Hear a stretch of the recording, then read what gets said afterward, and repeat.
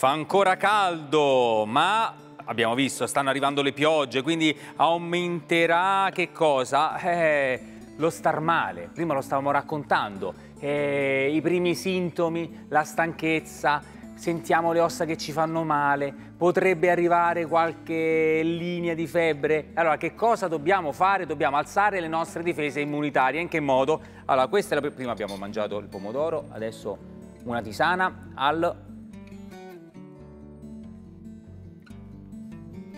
Mm, questo è difficile, un po'.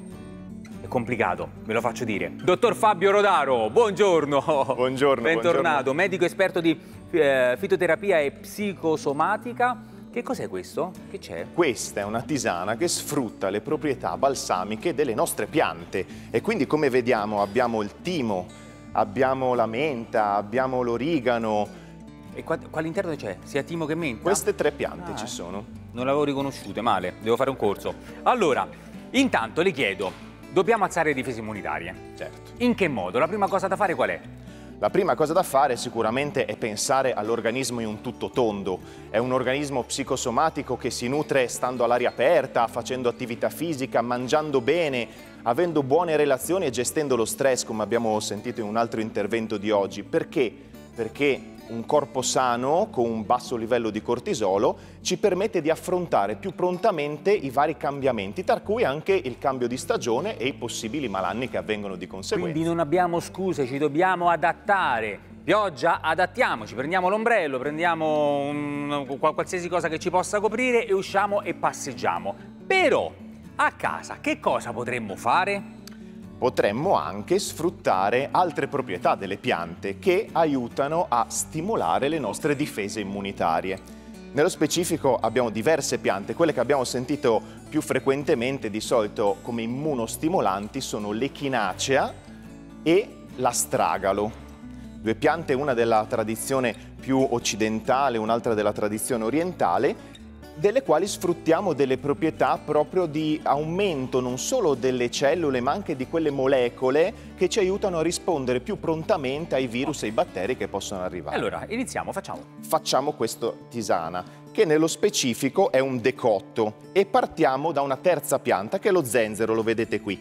Lo possiamo utilizzare anche fresco. Diciamo che lo zenzero è quello che conosciamo anche più comunemente. Esatto. Quello che eh, Il resto è un po' difficile comunque. Sì, sì, sì, difatti. Uno se lo dovrebbe annotare, se lo dovrebbe segnare, perché uno si dimentica pure già il nome.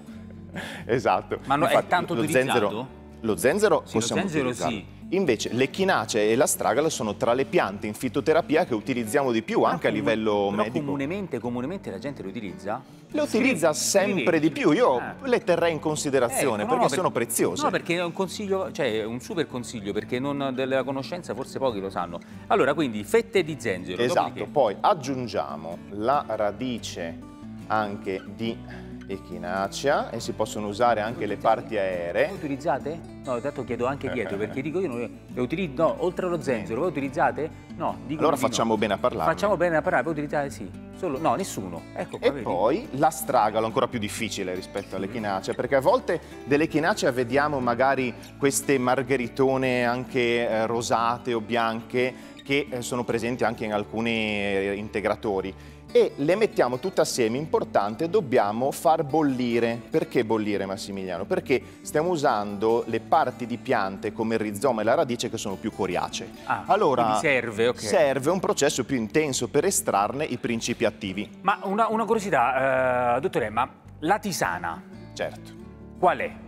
La tisana è un nome più generico e ci sono diversi modi per fare la Cioè, tisana. nel senso, quando fai l'infuso è tisana? È sempre come nome generico tisana, ma se il processo è un'infusione e quindi lasciamo solo la pianta in infusione in acqua bollente, Classico, sì. classico, questo è un infuso. Ok. Se invece, come nel nostro caso, lasciamo sobbollire per 5 minuti, ad esempio, quel sobbollire fa parte di un processo chiamato decotto. Decotto, però entrambi i casi comunque sono due tisane? Esattamente. Ah, non lo sapevo, vede. Ok, quindi quanto tempo mi diceva? 5 minuti a bollire, 5 minuti fuoco spento in infusione e poi abbiamo pronta la nostra tisana per stimolare le difese immunitarie Ecco, ma anche in questo caso però quante volte possiamo berle? Perché dicono ok, sostituisco totalmente l'acqua, in realtà non è così. Non è così, nel senso che le dobbiamo usare con un'azione preventiva al, al, bisogno, quindi possiamo berne fino a tre tazze al giorno, okay. sapendo di portare un'accortezza, perché soprattutto per quanto riguarda le piante immunostimolanti, qua siamo con dei principi estratti delicatamente come un decotto,